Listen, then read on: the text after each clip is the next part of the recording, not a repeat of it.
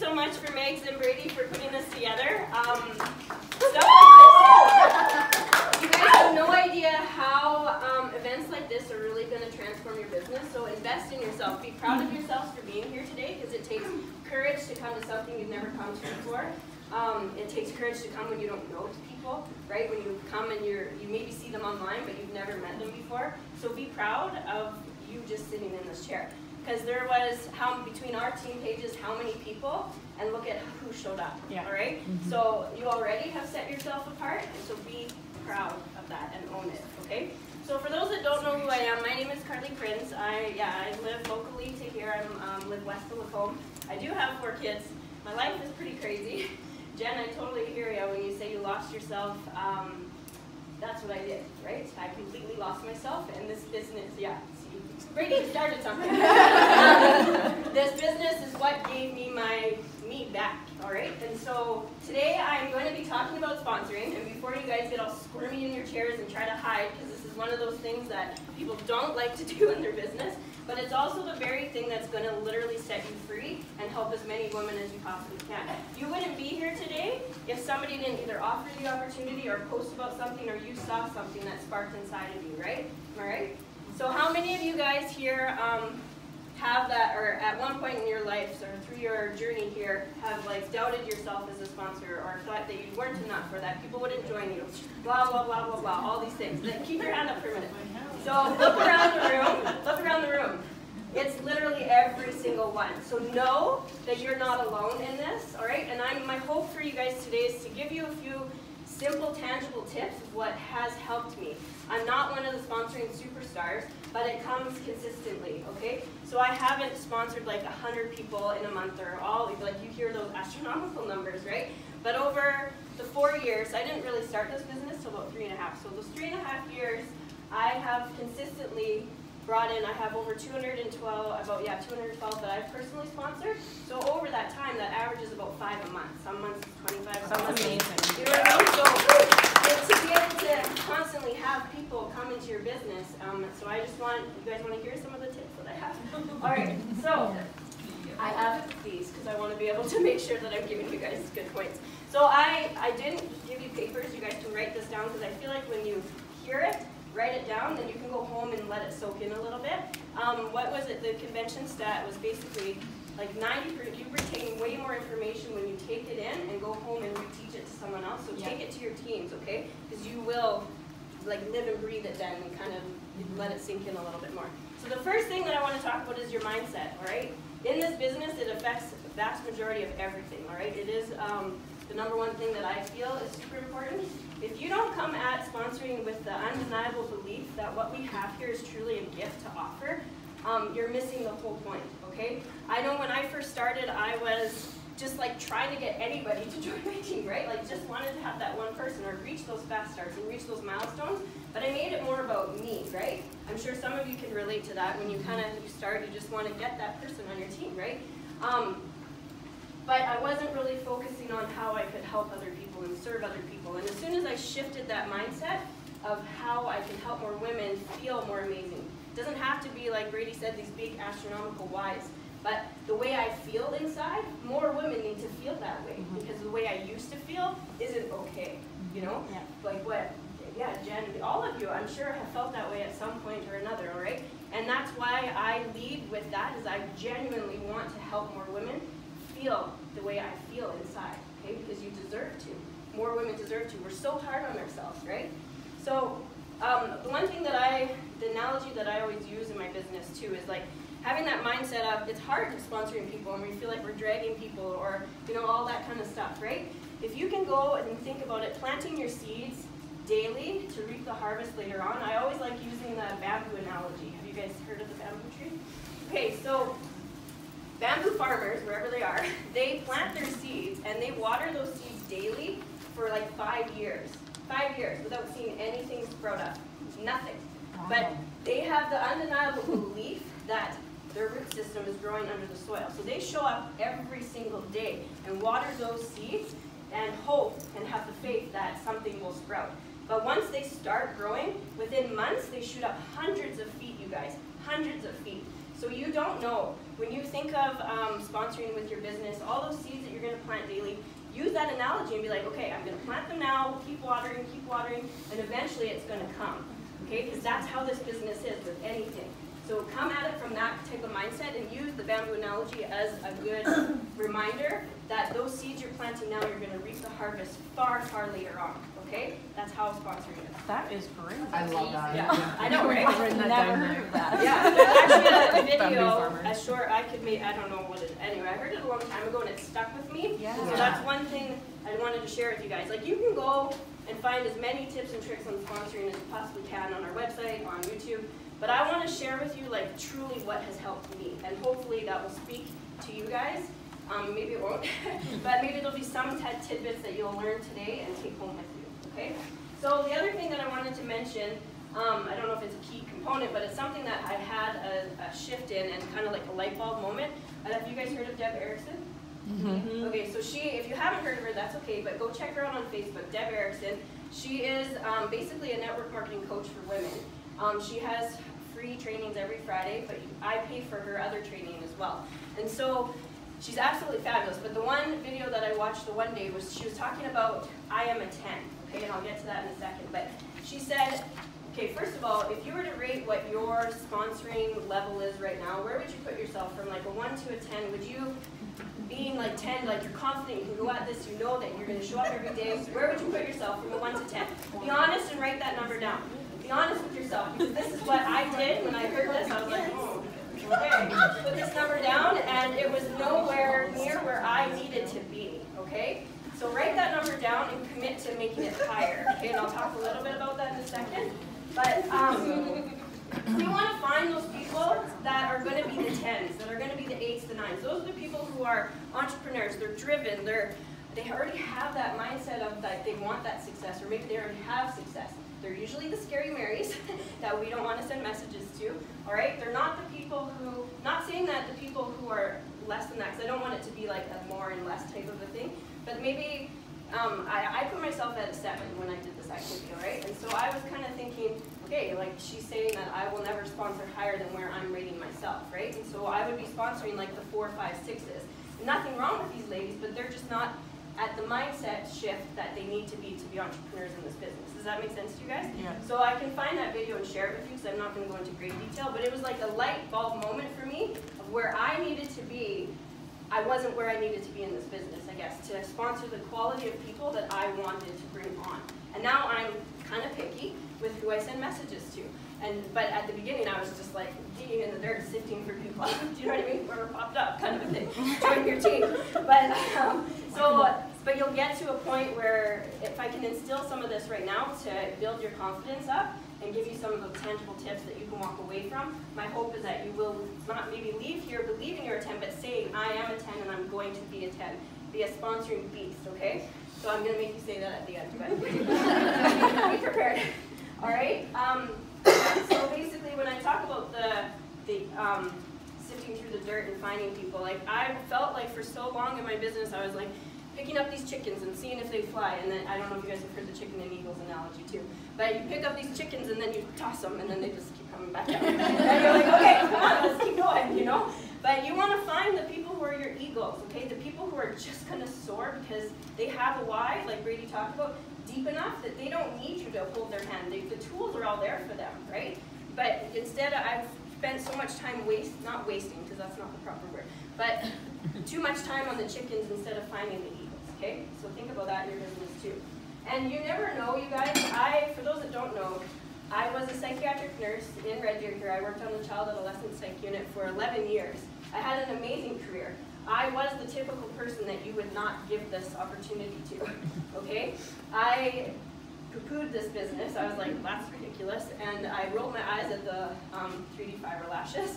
Like everything that possibly you could have, I thought it. So I get where I used to be and where I am now. And so never discount those professionals or those people um, who you're too scared to send the messages to. Because if I wasn't given the opportunity, I would, wouldn't be here today, and neither would you. All right? And so those people who you're too scared to send the messages to, this could very well be something that they that could set them free. Don't know what's going on behind you, right? So just thought I'd share that with you. Okay, so another key component that I feel like is important. So talk about mindset, kind of getting your um, into that I am intent and sponsoring people who you want in this business who are going to work and kind of shifting to that. The other thing is is like the vibration. What are you giving out um, like that energy that you have? Are you a Debbie Downer? Are you a, like instead of filling being a fountain, are you a drain kind of a thing? Like attracts like. Okay? The attraction, the law of attraction says that you whatever you're putting out, you're gonna get back. Okay? And so if you have your Facebook wall completely negative or any of that kind of stuff, that's what you're going to get back to. You're going to get the people that join your team that aren't motivated, that are the Debbie Downers, that are, you're going to get that, okay? Does that make sense?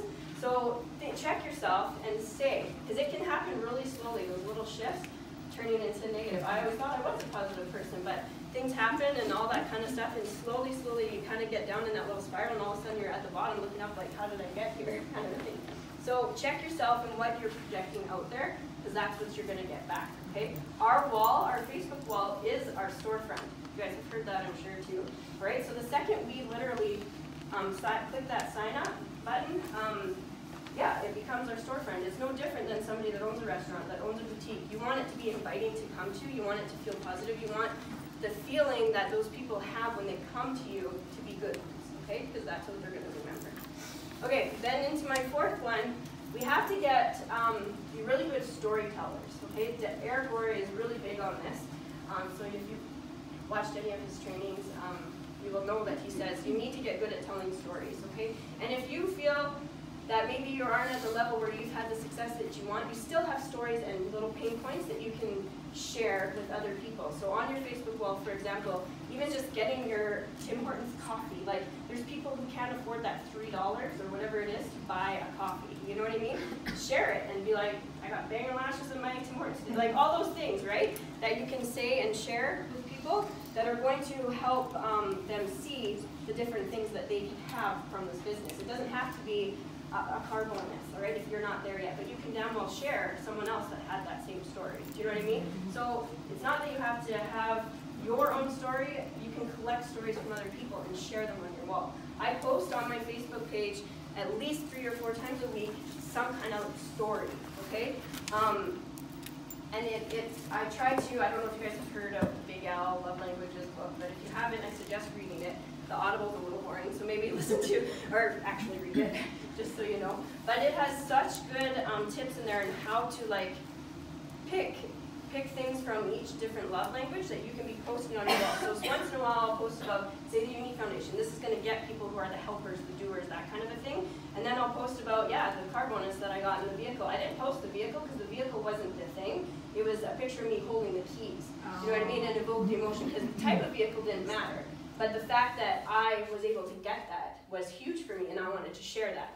You know, you can evoke that story, right? And um, I'm not saying that you have to have a car bonus in order to share that, but that's going to show someone else that's like, damn, I really need a new vehicle. You know what I mean? Or that type of a thing. Share your stories or share someone else's that maybe has been on a different journey than you, okay? So pull from those. Become really good at sharing these stories. It doesn't have to be a big long book, you guys.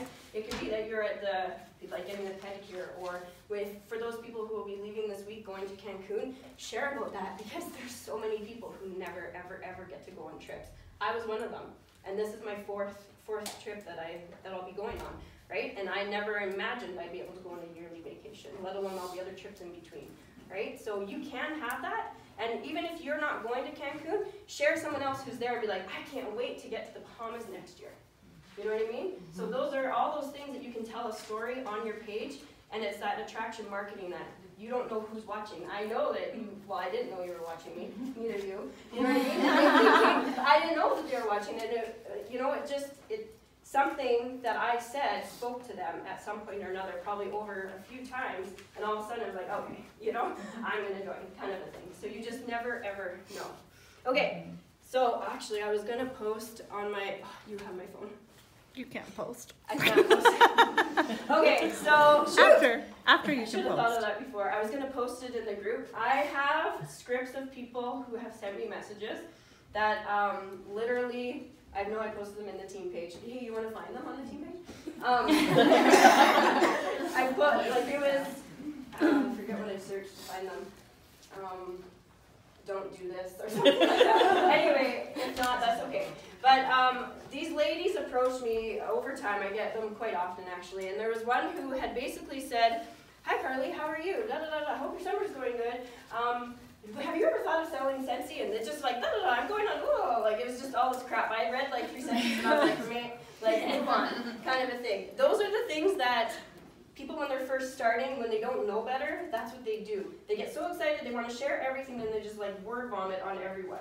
All right, and so I kind of wanted to show you guys what not to do before I tell you what I do do. Then there was another one who, um, she, yeah, messaged me about rhododendron fields or whatever it was, and I just said, sorry, I'm not interested, basically that type of thing. And like nobody went on my wall to say like, hey, I noticed you have four kids. Like, how was your summer? How was, you know what I mean? Like nobody, not one of them has ever um, tried to get to know me or made a previous conversation to get to know me. There was absolutely zero connection. It was just straight to business. You would never walk up to someone on the street and be like, how are you? Blah, blah, blah, blah, blah, Like you would never do that, all right? So you got to keep it conversational when you're meeting with these people and sending a messenger. Um, one thing that I actually do do is I actually record it in a video and I send a personal message to them. So they see my face, they see my eyes, they see my excitement, they see it. And I send them five a day and yes, sometimes it's super scary, um, but I, will give you a system of what I use to send to these people in a second. But I just wanted to, yeah, share with you guys what not to do in order so that you can learn from that. You want to evoke the feelings of that you genuinely care about this person, that you really truly want to um, give them something. Like we have a gift to offer, right? And we just really want to embody what we have to give to them. And it's not about us, okay? You don't need to talk about the trips you've earned. You don't need to talk about this, this, and this, and this. It's not about you about them, get to know them, and make connections with them. Okay? So the systems that I use, I'm sure a lot of you have heard of them before, but they work, and that's why I wanted it to, to my topic, or my, what was my title? Don't overthink it? Don't overthink Something like that, yeah. So to not overthink it, right? Um, I feel like the vast majority of people think it over and over and over until they talk themselves out of it because you're like, well, she's not going to do it anyway, move on to the next one, right? we overthink it all the time, and the process does not have to be that complicated, okay? So has anyone heard of the three C's? Mm-hmm. Yes, there are lots of people who have, and that's okay. But that's why I wanted to share it with you. This is literally what I do, okay? So the three C's are crazy, compliment, confidence, okay? Crazy, compliment, confidence, for those that um, want to write it down. Okay, it's short, it's sweet, it's personal, and so say somebody posted a really nice selfie on um, that I'm friends with, I would say like, damn girl, that picture that you put, or I usually use their name, I don't say girl, but I'll just use that for now. Um, Damn girl, that selfie that you posted was absolutely stunning. I admire your work ethic and I think you're so inspiring. Have you ever thought of doing what I do?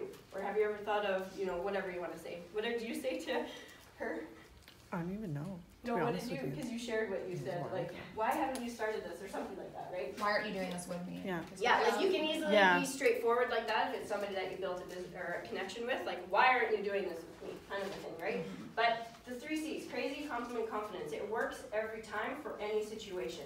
So it could be a hostess who's active in your parties, it could be, it doesn't just have to be from a selfie, but you always, um, say hi, connection, and build that, like give them the compliment and say it with confidence, because why aren't you doing this with me, basically, right? You're crazy not to.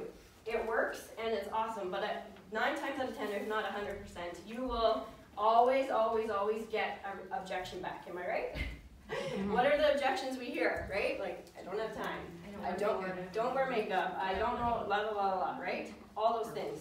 And so yeah, the three C's helps with offering opportunity, but what I use to handle the objections, again, is from Get Over Your Damn Self. When Brady said that book, like, honestly, you guys read that book if you haven't. It's highlighted like crazy for me. I teach it to my team all the time, to newbies. It's amazing, okay? Um, but what she talks about is the three F's, okay? So feel, felt, found. So we have the three C's to offer their opportunity, but we need to come back with the objection because you know you're going to hear it. Just be prepared for it, okay? You're very rarely you're going to get, yes, sign me up. You know, you're always going to get an objection, so get used to this system, okay? The three F's are feel, felt, found. Okay, you're going to relate to them. Um, you're going to say what I, like, I felt the same way and what I found was, all right? So say somebody says, I don't have the time. I would just say, I totally know exactly what you're meaning. I, I used to feel the exact same way, but what I found was um, I can put, use my, or do my business from anywhere and have in 15 minute increments and make my own schedule. So it actually works pretty sweet for my busy schedule something along those lines, right? But I don't just end it there, because if you end it there, they're gonna be like, mm, not, like, okay, that's great. And then you gotta come back with like the question so that they come back with you. So I always then offer a third-party tool. If you don't have one, your upline will, so ask them, okay? And so I always say, if I were to send you a quick, short video clip to answer a few more questions, would you be willing to listen? Watch, I say listen, because watch, just for some reason, they feel like they have to take time away. So I always say listen, um, and that just opens up another question and it opens up with the next step of the conversation, okay? So that you can take it that one step further. I feel like most of the time people are like, okay, now I don't know what to say, kind of a thing, right? So take it that one step further and offer the third tool, and then instead reach out to your upline to find, um, they will have one, okay? If not, go find Kelsey Stacy has one too. I used that for a long time too, all right? So go find one. All right. So I just wanted to, yeah, that honestly, you guys, that's the system that I use. It's not overly complicated, but sponsoring isn't. The reason why we is our own fears that we subject into it. It's the stories that we already make up in our head of what they're going to say to us before we've even opened our mouth, right? We do that, you know? You know exactly what I'm talking about. It's the self-limiting beliefs that we aren't good enough or that you can't be a leader, all those things. You don't have to be a leader to have people join your team. You can say, let's do this together. And in fact, I think honestly it's better if you don't pretend to know it all and all those things, right? Learn together. We're here to grow. And, um, I, I just want to instill the belief in each one of you that you can be a sponsoring beast. You can do this, and it will literally set you free the more that you can focus on other people and that service that you're giving to help more women, okay? Shift your mindset, and I truly believe you guys will be sponsoring beasts if you can implement this and just commit and decide that you're going to send those messages. That's the biggest thing. We are, um, like, we are our own entrepreneurs. Nobody's over our heads saying you have to send these. You have to do it. You got to show up daily and commit. And you can't ask your team to do things you're not willing to do. So you should be the top sponsor, the top um, in PRS, or you should be paving the way so that they know what to do and sharing what you do. It's duplicatable, it's easy, and I promise you guys can do it. So we, I know we believe in you. Um, so go out there and be sponsored beast, okay? So stand up, because you guys just got to stand up for a while. um, you guys are going to say this until you're blue in the face over and over and over again, okay? Yeah, Carrie, don't have but um, say, I am a 10. I am a 10. I'm going to sponsor 10s. I'm going to sponsor 10s. I'm sponsoring, you say badass if you want, but sponsoring the beast, okay? I'm sponsoring badass. So literally, okay, you guys. But literally, those I am statements, say them until over and over and over, because that's what you're going to project out, and that's what's going to come back to you. Okay? Say them over and over, you guys, until you believe them, and borrow our belief in you until you believe in yourself. Okay? So thank you.